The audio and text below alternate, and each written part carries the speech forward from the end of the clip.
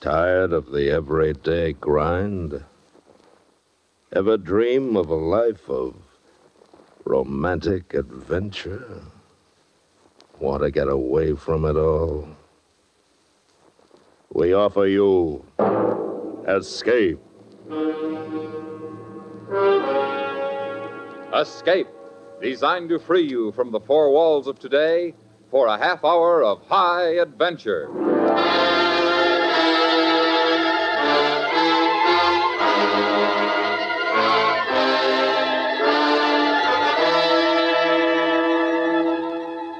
Are kneeling in the church of a Caribbean village, seeking the sanctuary it might offer, while slowly walking down the aisle, carefully studying each bowed head, is the brute of a man who has come to kill you. Listen now as Escape brings you Les Crutchfield's story, Violent Night.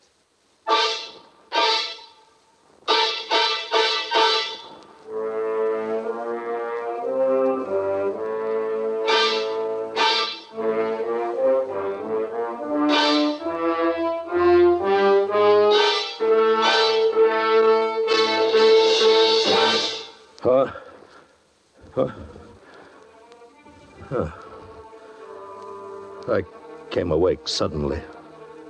Wide awake. It's a trick you learn around the back countries of the Caribbean. If you want to stay alive. I didn't move. I didn't make a sound. Just stared into the darkness and listened. And then it came again. Somebody was on the veranda. I slid off the cot, reached for my pistol on the table, and stood up. Barefooted, I moved quietly across the room and stopped by the shutters. Senor O'Grady. Who is it? Pepita. It is Pepita. Pepita? I am come to warn you is terrible danger. Are you alone? See, All right, wait a second. quickly. What's wrong? What's the matter? Look, toward the village, toward Monte Miguel. What? What? Fire. What's burning? The estacion of the police, the Federalista army barrack, other places. It is a revolution, senor. Revolution. Wh- Who is it? Who's behind it? Alacran. What? He has come out of the jungle again. One thousand men are follow him, and now more from the village. He has guns, trucks, cars, radios. He is called himself governor of the district. Governor. He won't last 48 hours. Everyone say it is revolution all over the country. You must leave your plantation and go quickly. Pepita. You, uh. You think he still remembers? Alacran will never forget.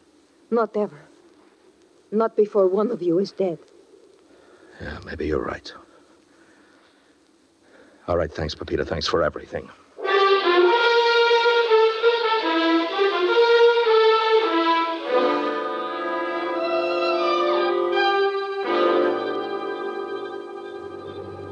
Ten minutes later, I lay hidden in a clump of bamboo by the irrigation ditch, 30 yards from my house, watching a convoy of army trucks swing in from the highway and roar up the road toward the plantation. I could have struck out then, run away, but I had to know the odds. Know whether Alacran was making it personal, whether he still remembered. The truck skidded to a stop. Men with rifles piled out, circled the house. Spotlights cut through the night, lit up my bungalow, probing at the shutters. But I didn't see him until he stepped into the circle of lights and called out. Mr. O'Grady? Mr. Barry O'Grady. Alacran. You're wasting our time, Mr. O'Grady.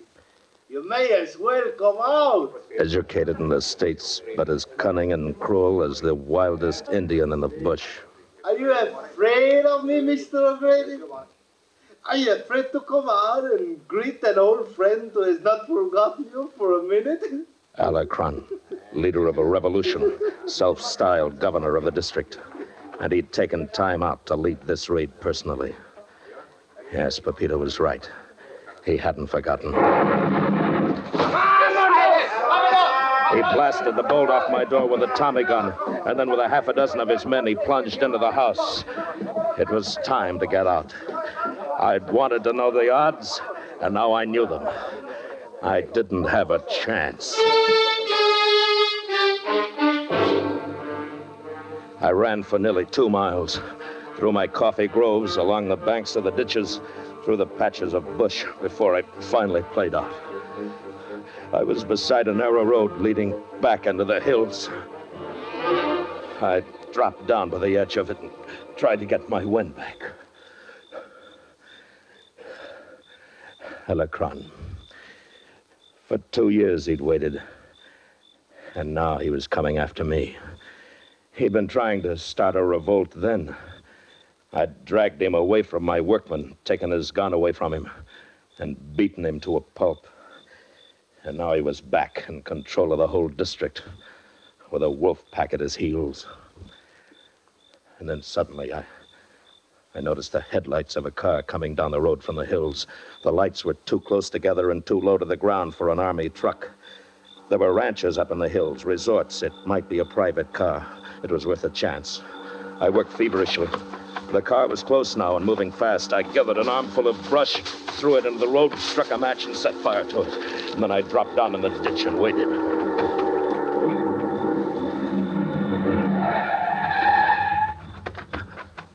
All right, easy now. Don't move. Who are you?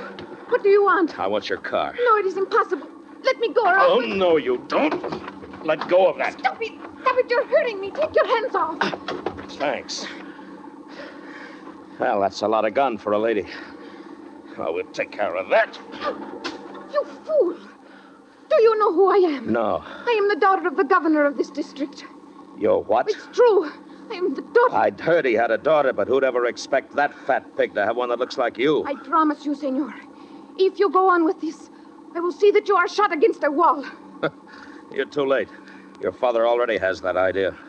Or more likely, a worse one. Ah, you know, I think you're going to come in awfully handy before morning. If you think you What do I going... call you? What's your name? Maria. All right, Maria, let's get this straight. I got one chance in a thousand of staying alive, and if I can help that chance, I'll do anything. You understand? No, please. Now, we're going to get out of here. We're going to get out together, whatever happens. Your father gets me, and I get you. All right, now get the car started.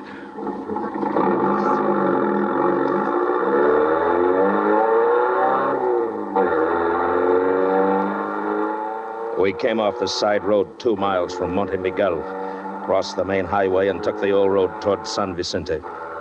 It was 110 miles to the capital, but the sports car was fast. It could outrun any army vehicle Alacran's men might have. And there was a good chance he hadn't yet blockaded the San Vicente highway. Well, it was a good dream. It lasted for two miles. Then it popped like a soap bubble. In the road ahead, senor. Lights, trucks, men moving. What do you want me to do? Brakes, hit the brakes, come on. And get this thing turned around and make it fast. ¿Quién es? Diga, ¿quiénes son? Amigos, Vengan, vengan por acá. Ahora. see, see. All right, come on, step on it. Let's get out of here. Come on. Párese. Párese o disparo. Faster. Well, that was close, plenty close.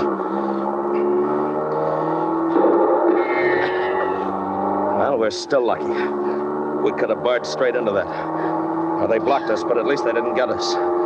And we still got a chance of circling back. What? What's, wrong? What is it? I don't know. I'm not doing anything to the Here, wait a minute. Yeah, yeah, I can smell it. A bullet must Oh. have smashed open the gas tank. We, we're out of petrol? Yeah. Get it over to the side. All right. No, farther. Clear over to the canal bank, the irrigation ditch. Go on. All right. Come on, get out. Come on, hurry. What are we going to do? Here, give me a hand. We're going to get it rolling. Come on. Into the ditch.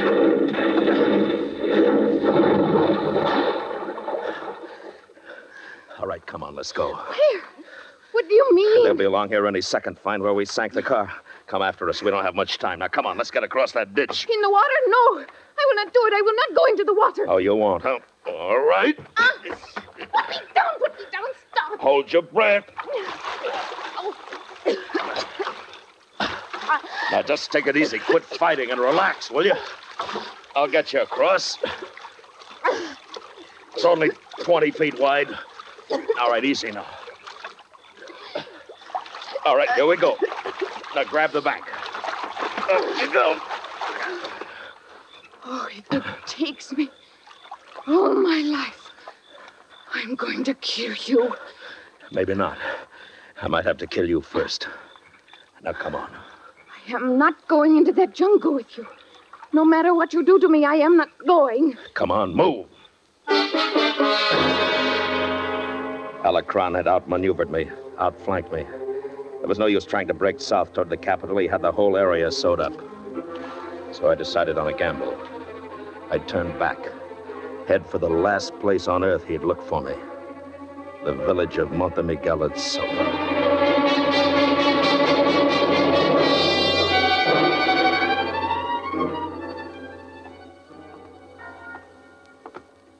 It was nearly midnight when we entered the village.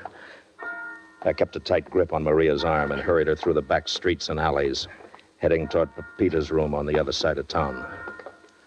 Though we didn't make it, a patrol of rebels came around the corner and moved toward us. We couldn't turn and run. We couldn't go on. We were trapped. But we'd stopped in front of a house built flush against the street. The door was only a few feet away. I stepped over and tried it. It was unlocked. I drew my gun and pushed the door open. All right, come on. There's no one in. Inside, quick. What are you going to do? Wait for the patrol to pass. Now be quiet. Here they come. Not a sound, Maria. Shh. Quiet.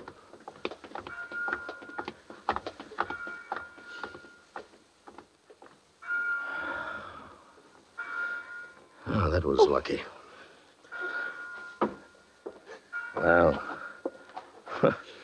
Double lucky, in fact. The head man here has gone out and left some clothes all ready for me. Oh, pantalones, camisa, sarape, sombrero.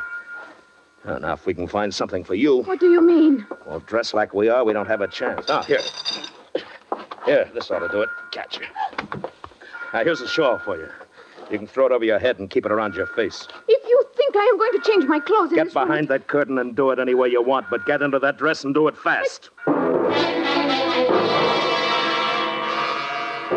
In a few minutes, we were back into the marketplace, walking rapidly. And then, as we passed the great doors of the church, I froze in my tracks. Alacran. He was lounging in the back of a touring car, fat and evil. Here, this way. Where? Into the church. If he sees me, we're finished. Slow and solemn now. All right, up the steps. Keep your head down. Awed, half scared the way the villagers go in. All right.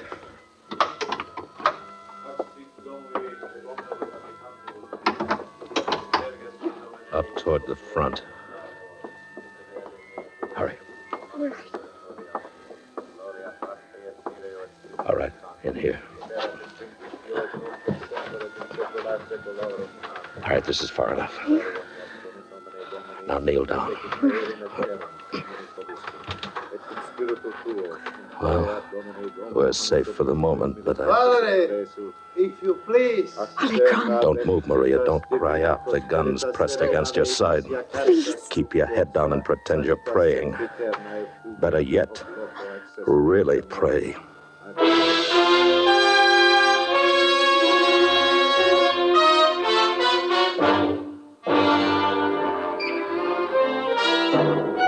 Are listening to Violent Night, tonight's presentation on Escape.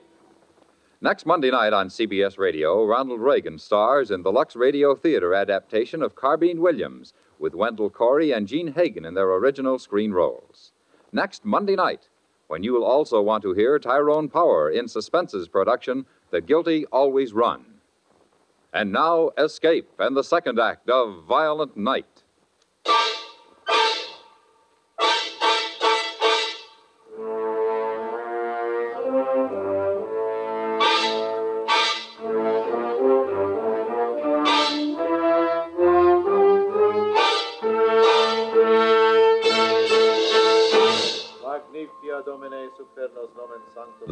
Padre, white haired and old, knelt at the altar and went on with his prayer, not hearing the summons from the back of the church.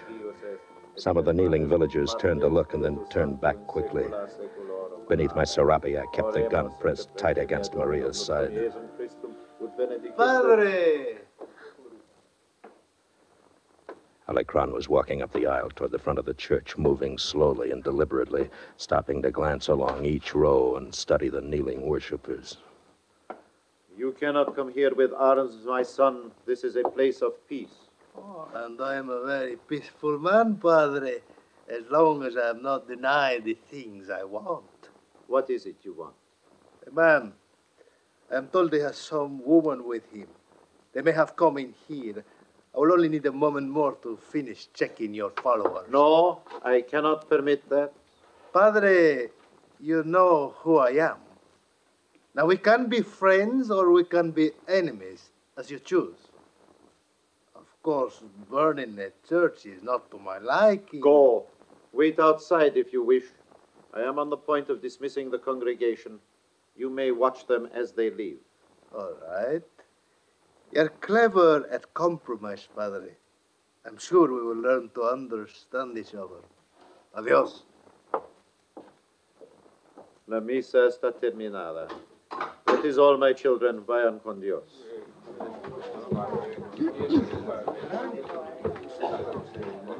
My son, What is it, Padre? this way. Follow me, both of you. Come quick. Come on, Maria. Yes. In here. You're taking a big chance, Padre, if he finds out you're in trouble. You have heard of sanctuary, my son, the sanctuary of the church? Yes, of course. Unfortunately, I cannot assure you that sanctuary, but perhaps I can help you in some small way to find your own sanctuary. Thank you, Padre. In a few minutes, when everyone has gone, he will be certain. Who is it? Lalacran, One moment. I am informed that you're hiding a man and woman from the congregation. Open this door Have patience. now. Here, behind the desk, there is a way out. All right. Go now, both of you, quickly. The passage opens on an alleyway behind the church. Open now. Hurry, my children. Thank you, Padre. Que vayan con Dios.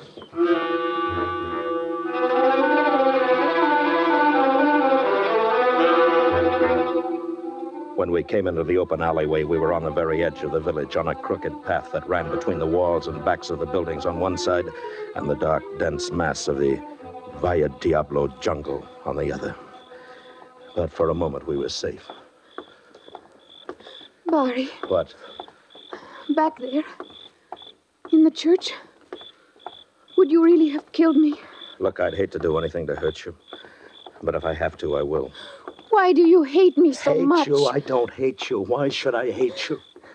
You're my ace in the hole. I've got nothing against you personally. You just picked the wrong man for a father, that's all. Wait, hold it. Barry, don't shoot. It's only a child. Yes, it's only a child, but he knows who we are. And you'll have the whole town out here in two minutes. There's no choice left. Now, come on. Barry, what are you doing? Where are we going? Into the jungle. Into the Valle Diablo.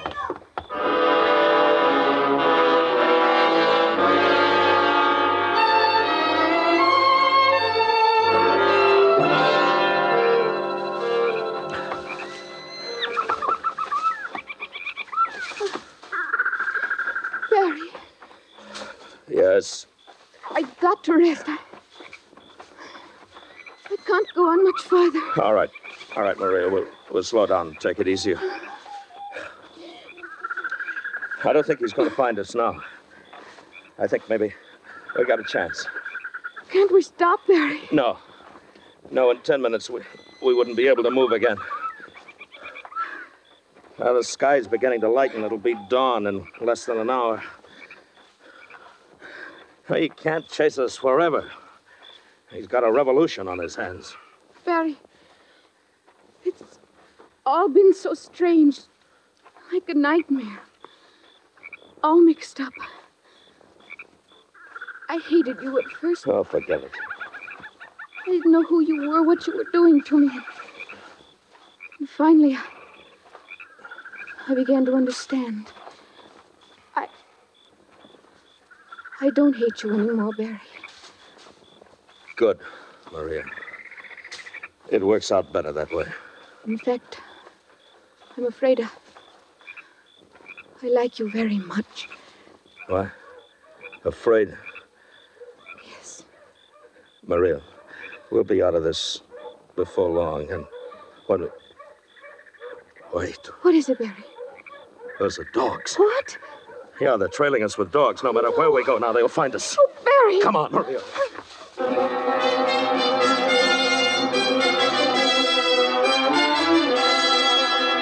Then we ran again down the twisting jungle trail, on and on, knowing while we ran that there was no way out, no way of escape.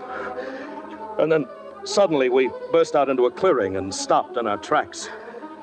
For ahead of us, dark and ancient, its stones worn by tropic rains, grown over with lichen and moss, was a Mayan pyramid built by men dead for centuries, lost and forgotten in the Valle Diablo.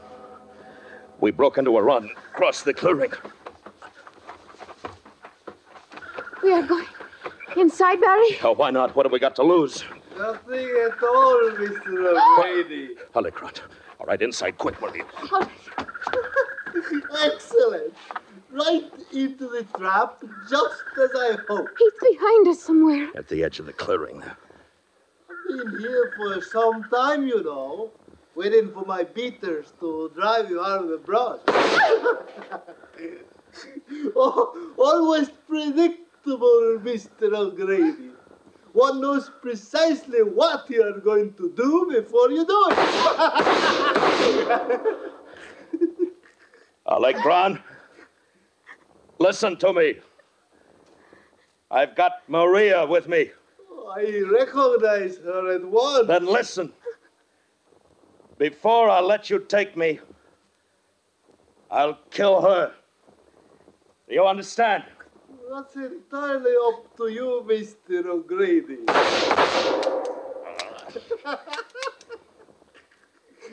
First, you fire at my voice and miss. Then an empty gun.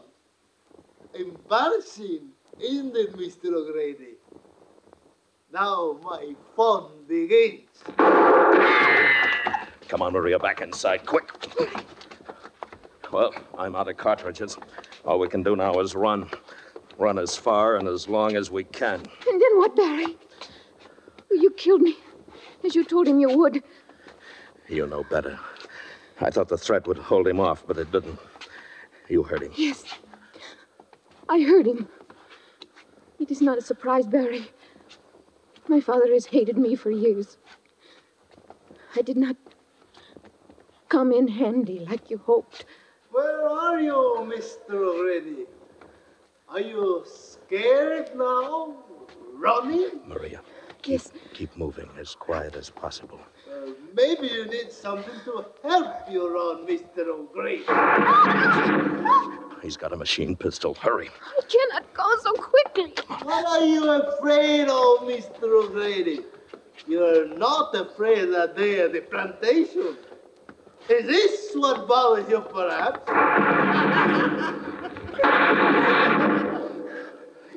It's no use, Barry. It's no use. Maria, Maria, wait. There's a ledge right above us here. I can feel it when I reach up. Broken boulders. Now there's a chance. Now listen to me, Maria. You go on alone. Oh. Make a noise, talk, so that he'll think that we're still together. Do you understand? I'm going to wait for him here, right up on that ledge. All right, now go on. All right. Go on. But oh, oh, be careful. Be very careful what are we going to do?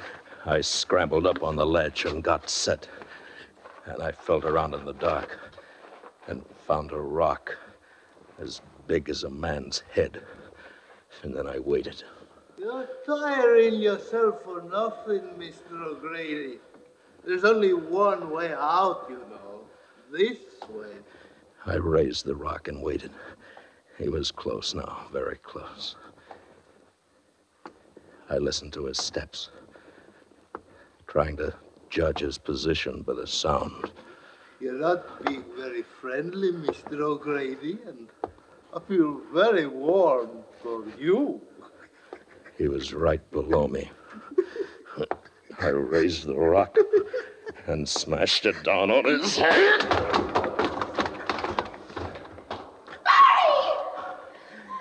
It's all right, Maria. It's all over. Sorry, sorry, sorry. Maria.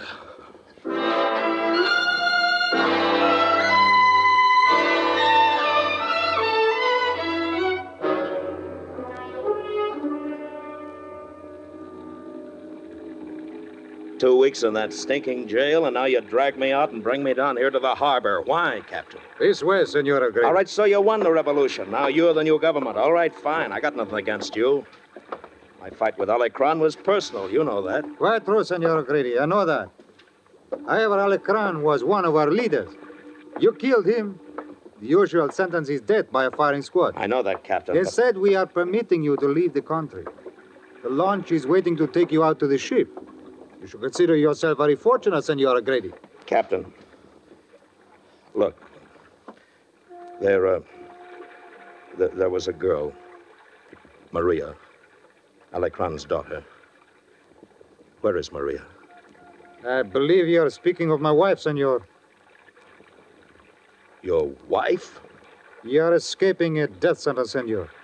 But I must warn you that if you ever return to the Republic, that sentence will be carried out. Your wife? Maria and I were married yesterday at the Church of Santa Isabel. As a wedding gift to Maria, I gave her your life. Your ship is waiting, Senor O'Grady. Adios.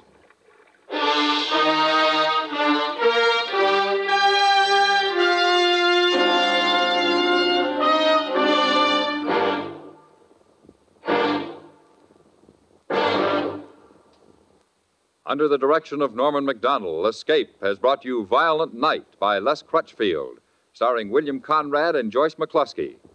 Featured in the cast were Don Diamond, Ben Wright, and Edgar Barrier, with Michael Ann Barrett, Byron Kane, and Richard Beals. Your announcer, George Walsh. The special music for Escape is composed and conducted by Leith Stevens. Next week,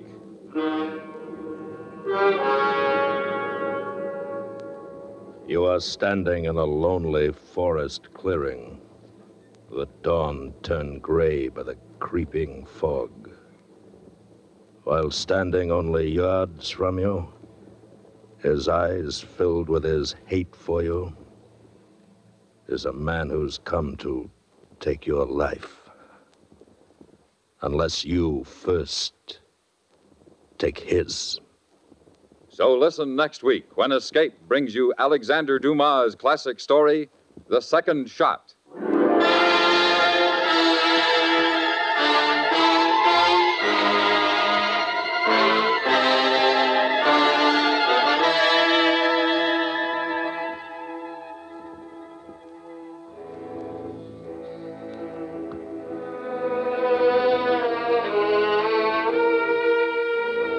Rich in comedy, rich in human interest, rich in novelty. That's Rich, starring Stan Freberg, Friday nights on CBS Radio. It's the lively, refreshing Stars Address situation comedy called That's Rich, which it certainly is, every Friday night on most of these stations. Just you make a date, tie a little string around your favorite chair so you'll remember to listen, and laugh with That's Rich. Friday nights, too, enjoy a full hour Arthur Godfrey Digest on the CBS Radio Network.